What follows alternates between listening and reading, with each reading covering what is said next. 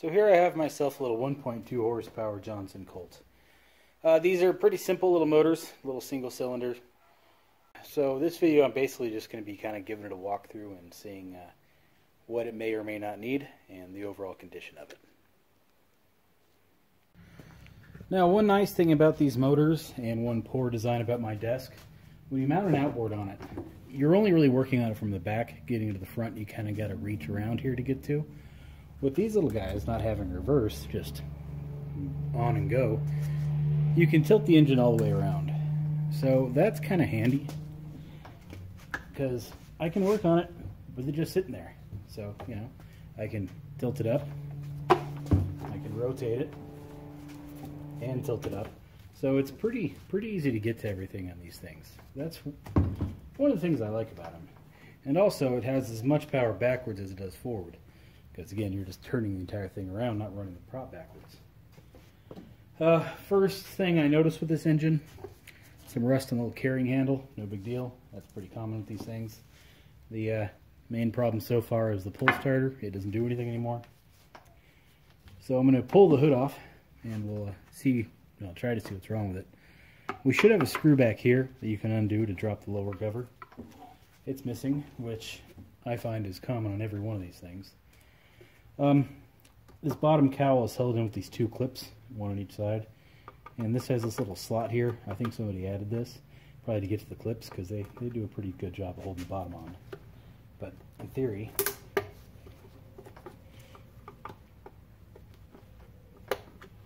can use those to get to the clips, which doesn't really seem like it's working, but apparently it is.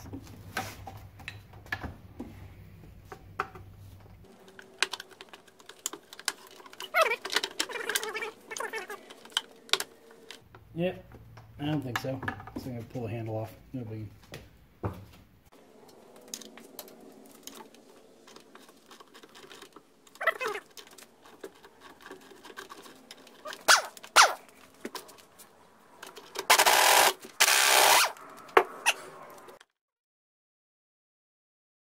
Got our bottom cowls off now, so that's good. Alright, as it turns out, I'm actually dumb handle nut was on there. So all I would have had to do is put in a wrench in there and grab it. Oh well, whatever. Alright, let's get this thing up.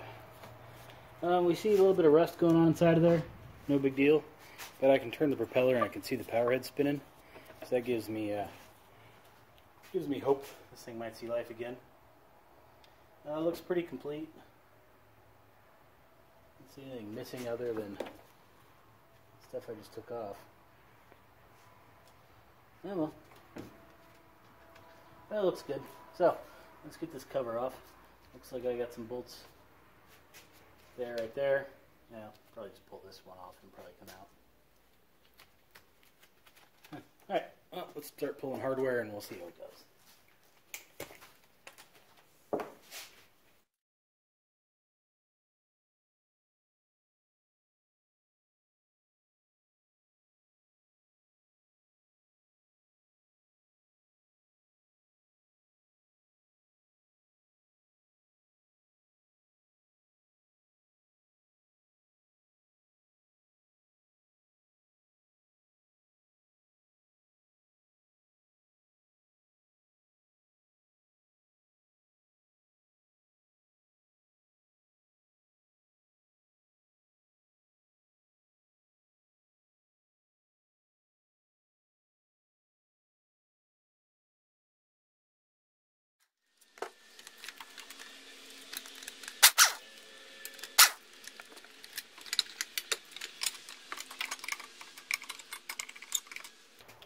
Alright, lower cowling is off.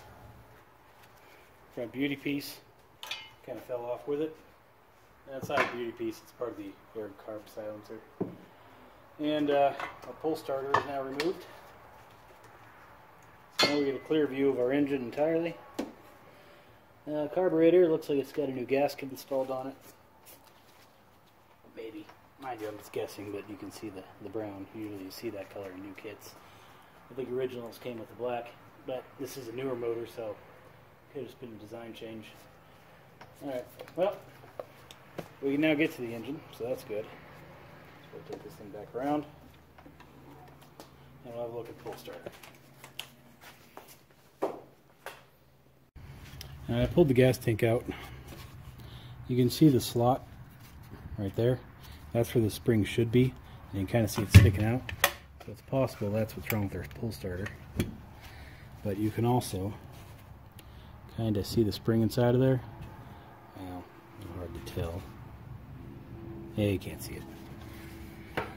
Well, anyway, moral of the story is it looks all kinds of rusted. And given how this is working, probably the case. Yeah, you see it sticking out now. So uh, I think we probably just need to replace the spring. Yeah, there's a good shot of it. Not not the worst spring I've ever seen, but definitely not the best. So chances are we can get the pull starter working by replacing the spring, but no reason to do that just yet because I want to see what the internals of this engine are like. So I'm going to pull the uh, rusty old spark plug on out of here.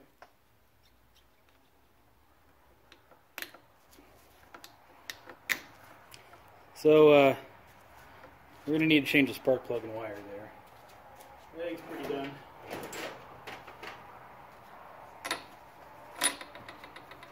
See if our spark plug comes out.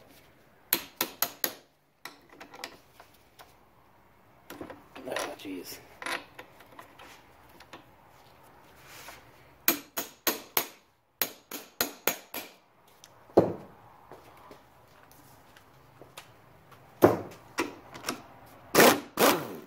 There we go. Easy.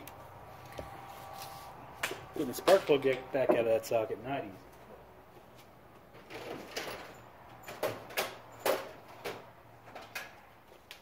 Alright, I have a compression tester. Um, if you've seen anybody else's videos ever, they always do a compression check.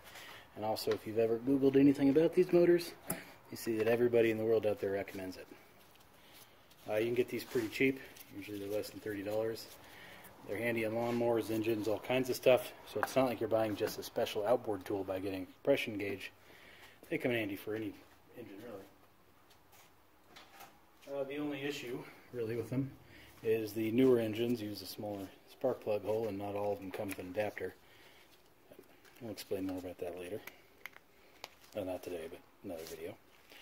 Alright, this is a spark tester. It's not a spark gap tester, which is the recommended way to do it but it'll give me a good idea if its uh, cylinder is firing or not. Compression gauge is the zero, hit the button, nothing comes out, and spark tester is hooked up. So I'll get my test start rope and we'll see how this goes. So I rotated the camera to the top view. You can kind of get an idea of how I do this. I have a rope with a knot in it. Pretty straightforward on that. And you just kind of wrap it around there. It'll slip, it'll come off but you want to give as much pulse as you can. Which apparently can be very many on this thing.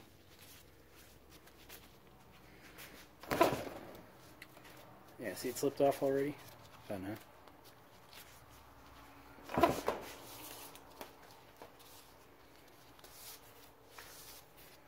This is where the pull starter working would come in handy. Today is not my day.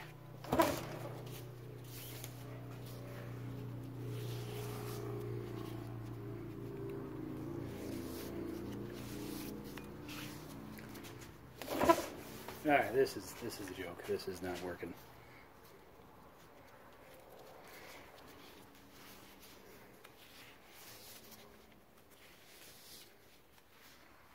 Yeah, that'll do it, right? Yeah, that's better.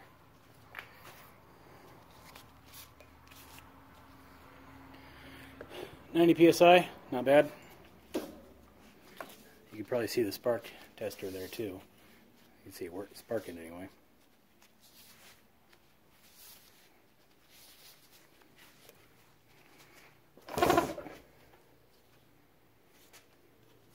Still 90. Maybe a couple more turns and call it.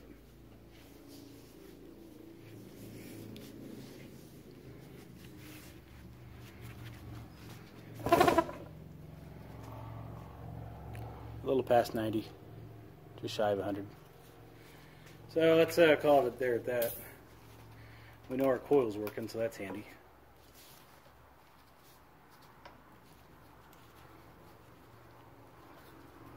Let me show you a trick. Spray some lubricant into the cylinder. Rotate this around a little bit to get it all in there. And try your compression again.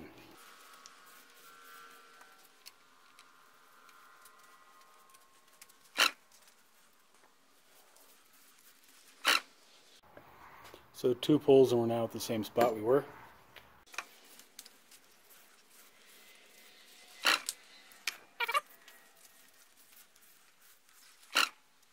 And we are pretty much at 120. So you'll see sometimes people listing a compression results for their engine, um, which is usually a little higher than you usually see. And I, I always think they uh, oil up the cylinders first. Who's calling? Scott, what can I do for you? So was I saying? Yeah, who cares? Anyway, so we got compression, we got spark.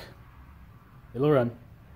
Uh, we'll need to clean up the carburetor just for safe measure, and we'll go check on the uh, lower to see if it's liquid cooled. I'm sure it is. And we'll see what a uh, impeller costs, and we'll go see about our uh, rope start parts. So, nothing to it. Also, just so you know, there is no provisions here should you not want an internal fuel tank and you want to use an external. There's no little little plug for a uh, fuel pump on either side. So, something to keep in mind. Some people like the built-in tank, some people don't. If you got a small canoe you're putting this on and limited on room, probably don't want the built-in tank. But as you can see here, no provisions for it. So keep that in mind. All right, now I'm going to take the carburetor off. Just make sure nothing weird's going on inside of there.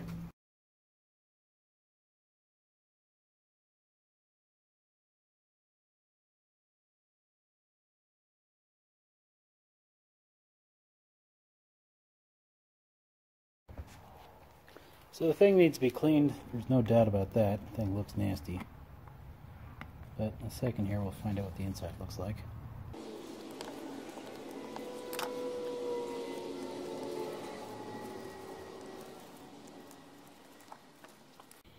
Pretty well on there. so that's cool.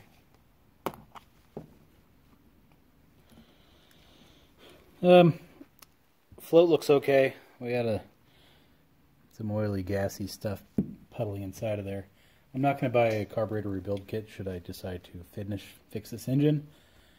I'll just clean it up. That that looks fine. The new gasket float, little bottom sealer here looks okay. Um, I didn't pull any of this apart, but usually usually they're okay if they look like that. All right, I'm to drain the lower fluid here, kind of. See how it looks. Oh, that is on there. Wasn't expecting that one.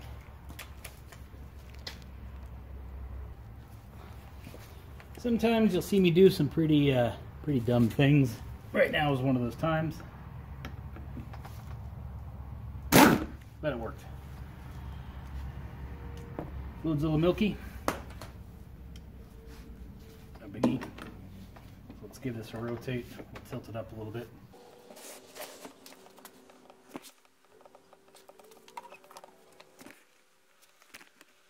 So they're not the worst I've ever seen. Anyway, I'll let it drain, drain out now. Now, judging by the oil, pretty sure the lower unit's leaking somewhere, but I'm going to hook it up to my uh, gear case pressure tester here, just to be sure. Which camera's in the way, so let's get you out of there. There's a full picture of what the pressure tester looks like.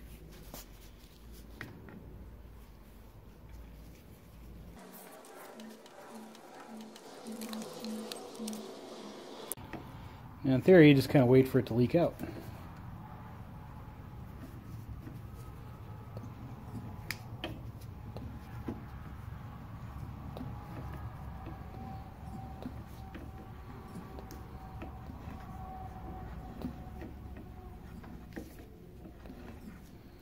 Well, it ain't leaking, and I uh, don't have the uh, vacuum test type of uh, pump.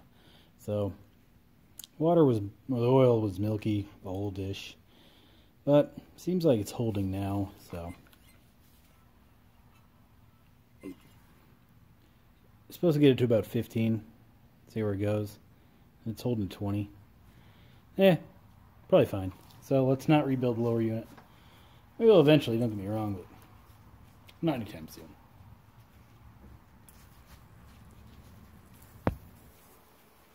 Some oil. Should be good to go there. Alright, to add to the mess on my bench here, I'm going to pull this flywheel off and see what our coil looks like.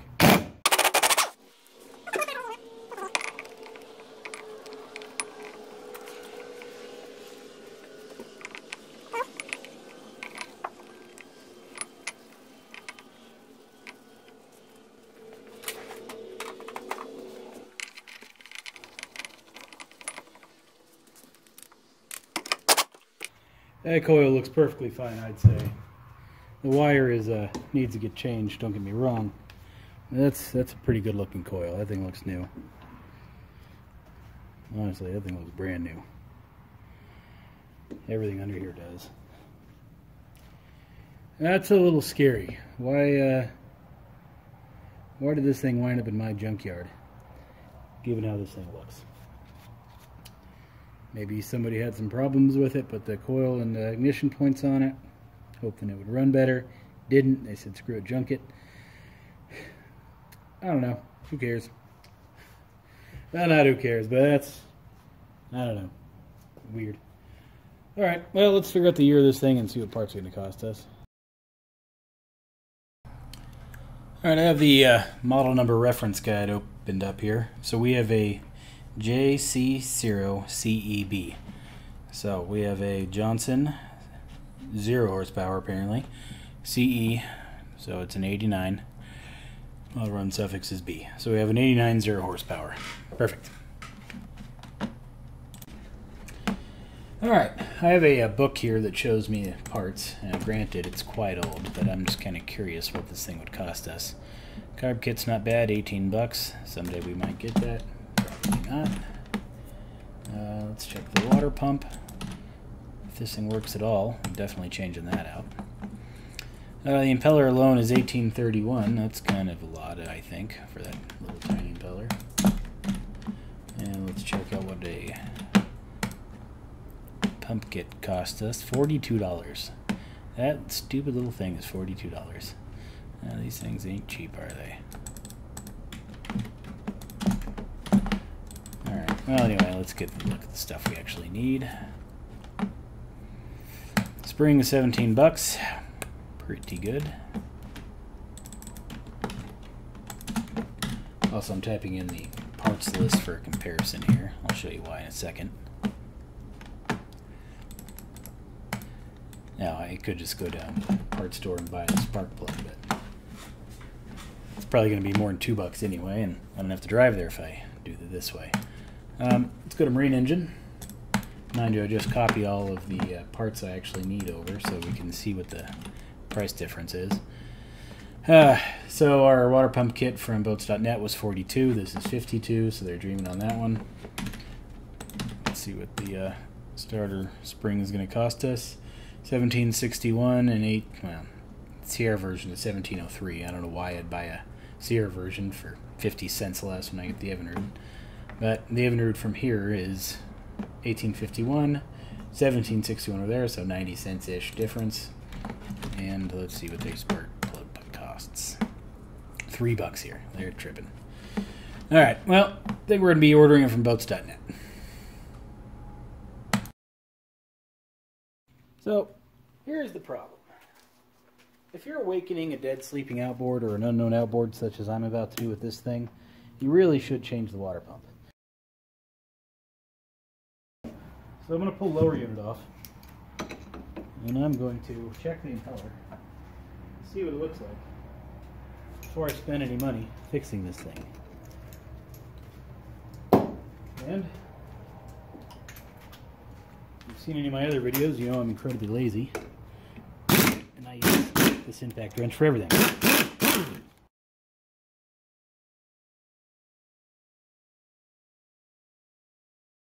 We need to re-grease the splines. That's just nasty. Any longer, anything probably was seized in there.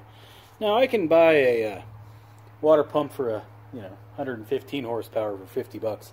Why is that tiny little thing 50 bucks or 42? Yeah, whatever. Rubber's pliable, not too bad. Let's uh, let's get the pump off and have a look. All right, I got the lower unit mounted in the holding fixture. Now, I did this because it's hilarious. This thing is tiny, no reason to be in this huge holding fixture. yeah, it's funny. Eh, I could have just thrown this on the bench and it probably would have been easier. Alright, this, this is taking too long already.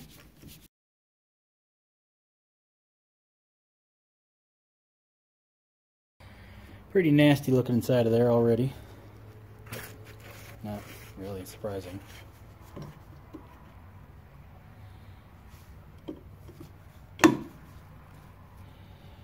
There's our seal and plate.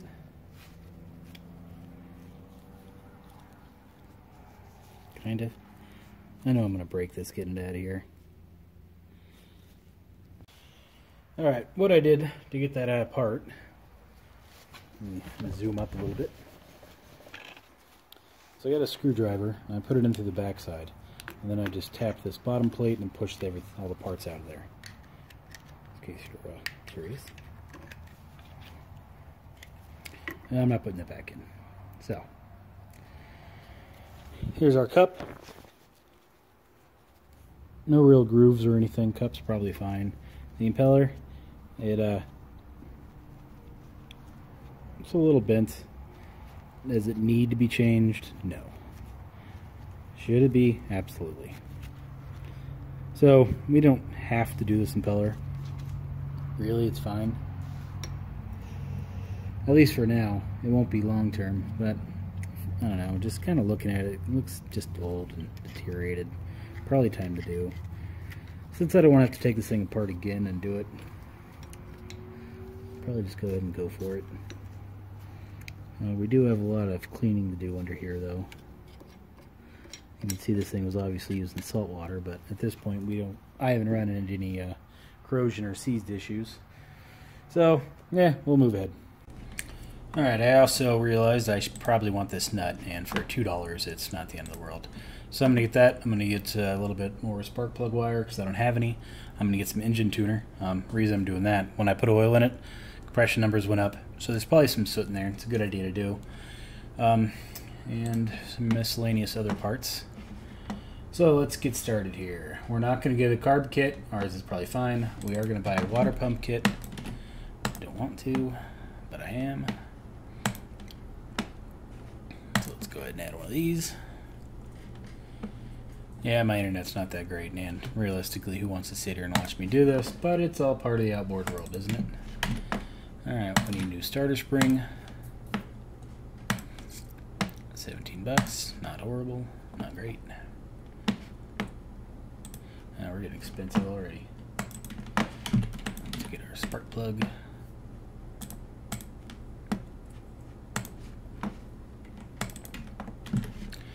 Alright, so far we're at $61 for this little motor. Not a big deal. Alright engine tuner can, 10 bucks. Yeah, now we're getting kind of expensive, but uh, whatever. I'll use it for something else anyway. What is this? So carbon choke cleaner. Uh, locally it's six bucks. About it's eight. Eh, need a bigger can from the parts store, so we'll just do that. Uh, this is the screw, 92 cents. That beats trying to find one. That's not going to exactly break the bank, so to speak. Let's get the ignition wire now. I don't have any more. I only need a foot of it. So that's uh, worth the investment, I think. Alright. $75. Not horrible. Now, I want you to keep something in mind. This is the bare minimum. Realistically, I could put another $30, $40 into this thing for the lower unit. Another 20 for the carb kit, and then we'd be styling. And then we're over 100 and some change. Now, I want you to keep something in mind. That's a brand new Evinrude 3.5 force, which is the smallest they make, and this is a four-stroke. Brand new is $1,000. So let's say you needed some more serious parts, like, I don't know,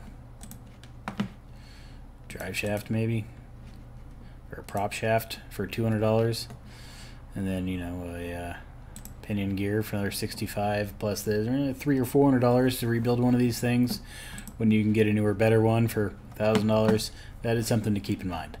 And also the other neat part about this is it's got a twist grip throttle so that's kind of neat. So just keep that in mind when you're rebuilding an engine this small. New they're pretty cheap so anyway, that's going to be our total, 75.43 plus whatever shipping cost to go through this engine, kind of, and get it, you know, decently running. Hopefully, uh, hopefully it doesn't have a bad rod or something and need more work because that ain't something I'm about to do. I really don't even want to spend the 75, but you know, whatever. So anyway, hope you found this video helpful. I'm gonna order this now. Parts get here, I'll uh, make another video of putting it all together, and we'll we'll see how it runs. So, stay tuned.